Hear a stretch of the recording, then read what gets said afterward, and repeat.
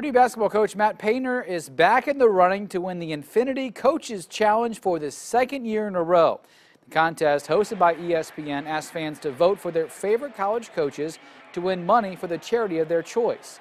Painter is once again in the final round of four with $100,000 up for grabs.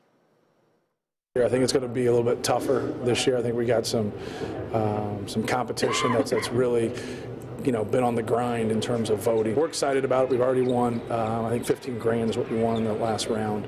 So now if we can be able to push through here and, and get it to 100 grand again, that would be huge.